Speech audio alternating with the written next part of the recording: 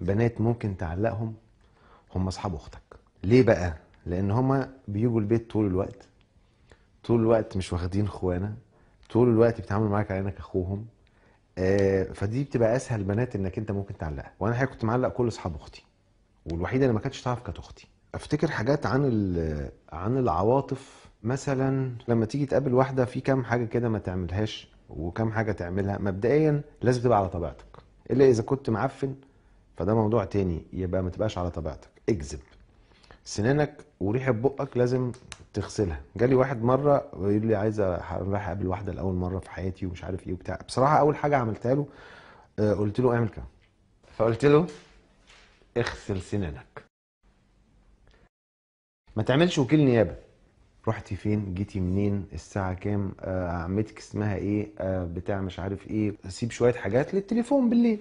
يعني سيب التليفون بالليل يتكلموا وكده وتعرف عنها شوية حاجات. وبعدين الحكاية تتطور ولابسة إيه؟ الحاجات اللي عارفينها دي. أنتوا كلكم كده.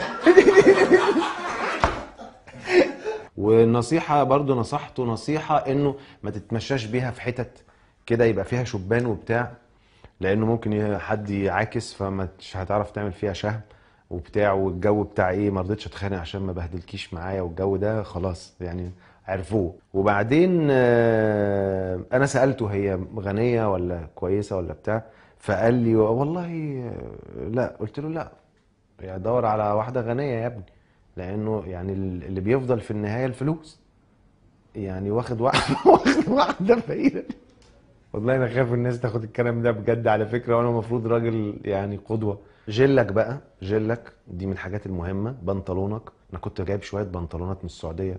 يا نهار أسود ومنيل تدخلني السجن. كنا إحنا قبل الأجازة لما نيجي نازلين نقوم نازلين السوق جايبين شوية بنطلونات وشوية تيشيرت. كان عندي بنطلون كان stretch شوية. كان جينز. وكان عليه تعبان. والله العظيم. كان مرسوم عليه تعبان لافف على الرجل كده. تعبان مرشوش بالسبراي أبيض. والبنطلون ده كان إيه؟ ده كان بيوقف بنا على رجل. بنا دي البلد اللي أنا منها. كنت أشيك شاب في بنها. كنت بمشي وأعمل شعري سشوار والله العظيم والبنك ده كان زمان وكده و... فحاولت أديله شوية من ال...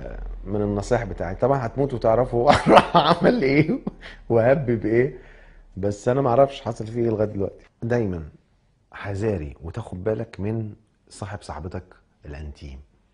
صاحب صاحبتك الانتيم ده دايما في الغالب بيبقى اسمه بودي كوكي والحاجات اللطيفة دي وده هو بيعمل الحاجات دي لأنه صاحب صاحبتك الانتيم ده دايما بيبقى بيحب صاحبتك أصلا عشان عشان تبقى عارف.